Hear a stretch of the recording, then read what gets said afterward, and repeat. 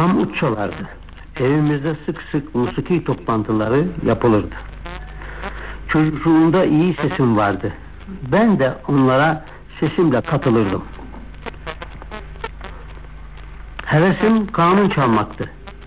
Ama ne oldu bilmem babamın udu ile işe başladım. Sazı öğrenmek için hiç kimseden ut dersi almadım. İyi ut çalanların kullandıkları mızrap ve pozisyonlara çok dikkat ederdim. Okunan şarkıları pek çabuk öğrenirdim. Beni dinleyenlerin takdir ve teşvikleri bu yolda ilerlememe sebep oldu. Radyoya gelinceye kadarki hayatınızı anlatır mısınız?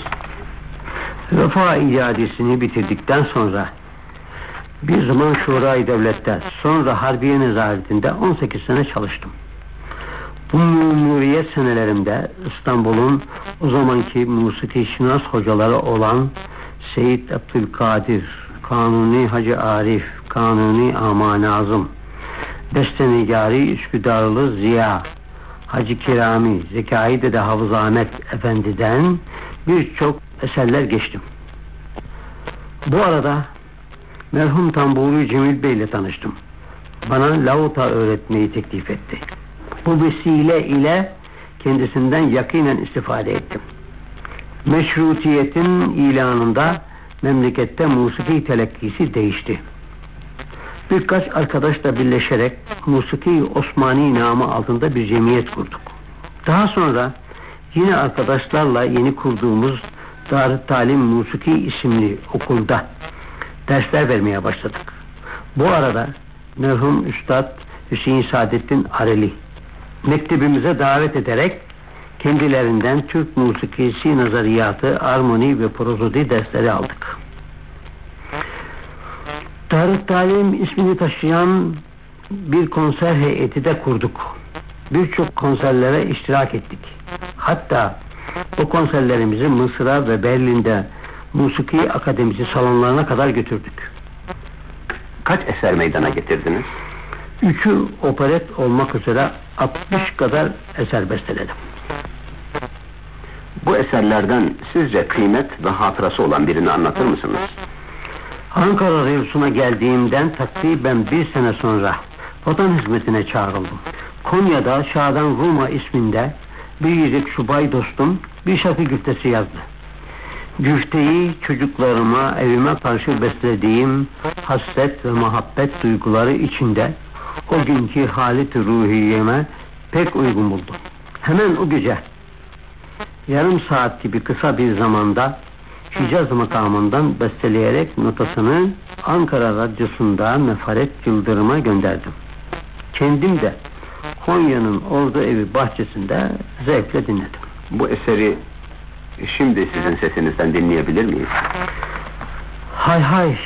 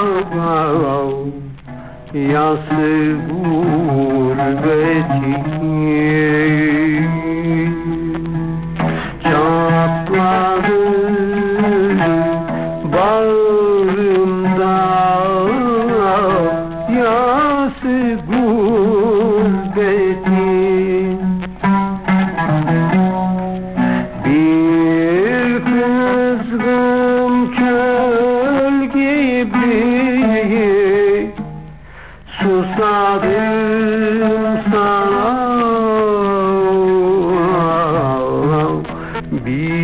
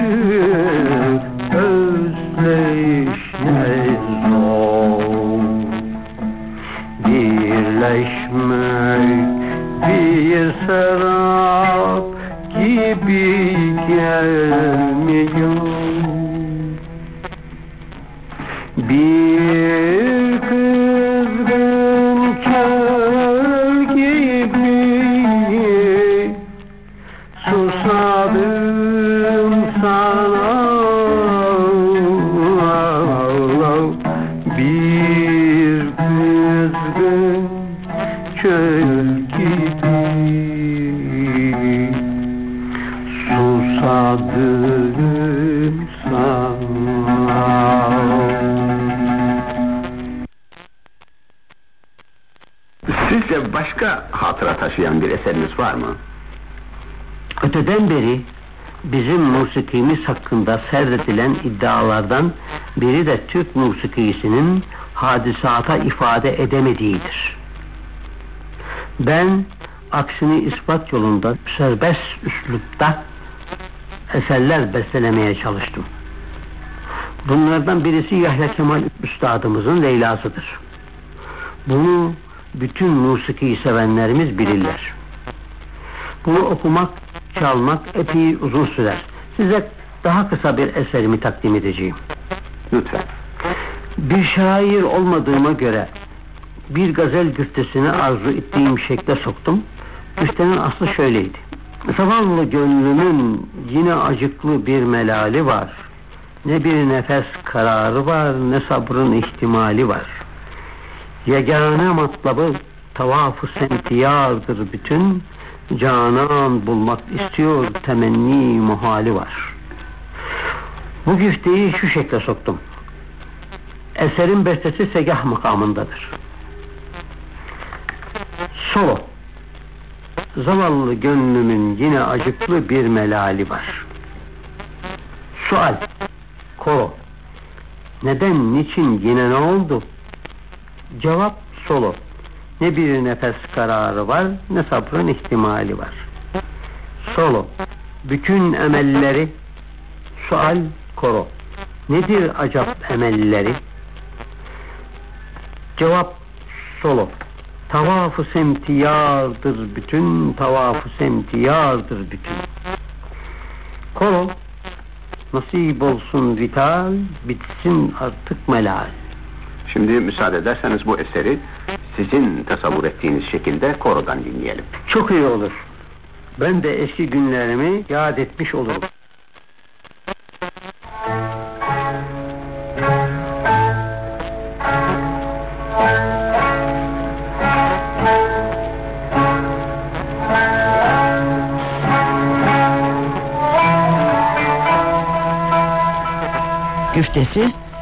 Hüseyin Avni'nin olan bu eser 1924 yılı Haziran ayında bestelenmişti.